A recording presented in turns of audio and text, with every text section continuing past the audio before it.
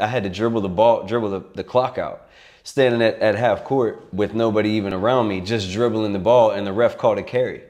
And I'm literally just dribbling the basketball, right? Because the way that we dribble it is not how they dribbled it in the 80s. And I, so just even the ebbs and, and even uh, in uh, career from 2009 to 2013, you know, myself, Reese, we weren't the only ones, but there was still a small amount of guards who were dribbling the ball three feet behind the line and pulling up with a, a, a, contested three. That's regular stuff now. That's just what you see in basketball. That's not crazy.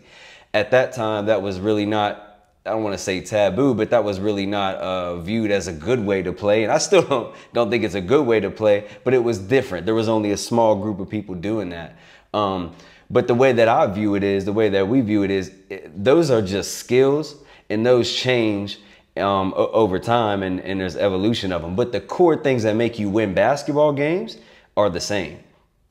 Yeah, they, they are. But, but, but, but James, you look at like, okay, people will talk about fundamental skills, right? We want to, we want to teach fundamental skills. Yeah. What, what are fundamental skills? And I think a lot of people think, well, they're just simple things that you do. It's keeping things simple. And mm-hmm. that's not necessarily true. Yeah.